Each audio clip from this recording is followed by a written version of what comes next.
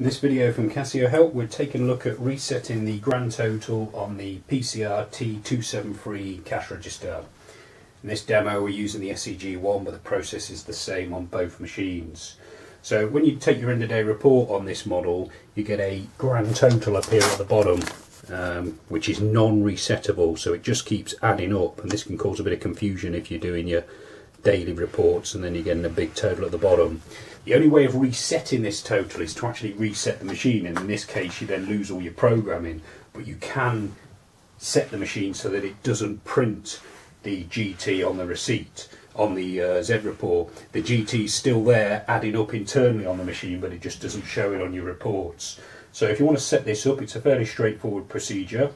First thing is key round to PGM, and then free subtotal, followed by 08 2 2 subtotal, then 0 2, cash amount 10 and subtotal. We now turn the key back round to reg, pop a quick sale through.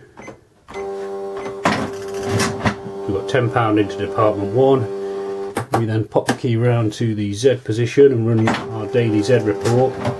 What we should be expecting is for the £10 to appear in the report in department one, £10 cash and then the GT not on there. If you want to put the GT back on, it's a very simple process. Would, we've got another video showing you how to do that and you should be aware that the GT is still adding up on the machine. For more information on using Casio cash registers, please subscribe to this YouTube channel or visit casiohelp.co.uk. Thanks for watching.